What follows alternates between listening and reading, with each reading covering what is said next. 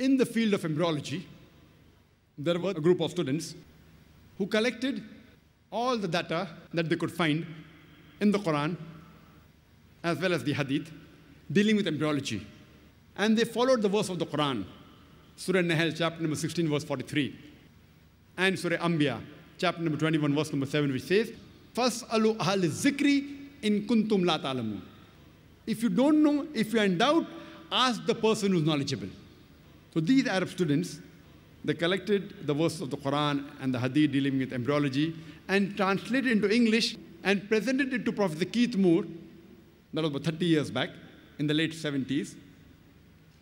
And Professor Keith Moore at that time was one of the highest authorities in the field of embryology. And he was the head of the Department of Anatomy in the University of Toronto in Canada. When he went through all the translation verses of the Quran and the Hadith, he said that most of the verses of the Quran which speak about embryology are in perfect conformity with latest advances of embryology. But there are a couple of verses which I cannot say that they are right.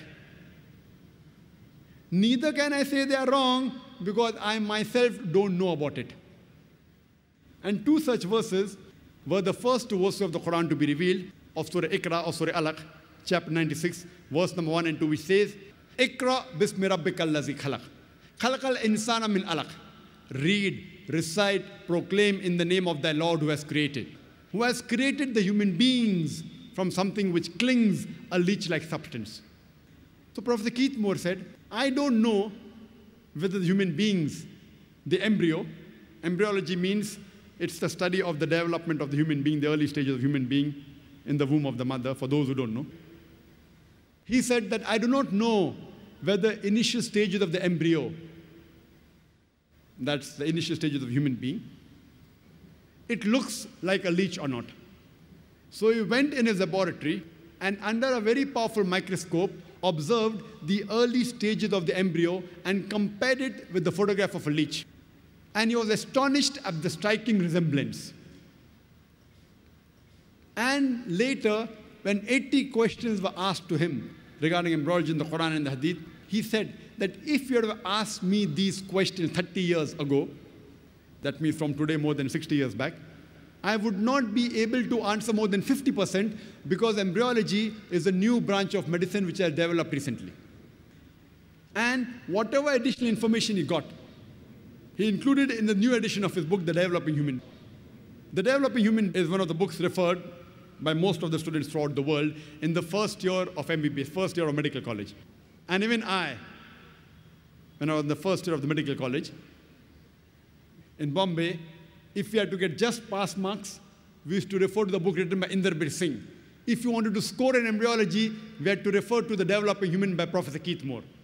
So Professor Keith Moore, he incorporated this new information he got from the Quran and the Hadith into the third edition of his book, The Developing Human, which got the award for the best medical book written by a single author.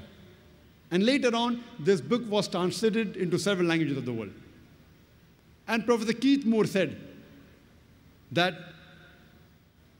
this information in the Quran cannot come from human source.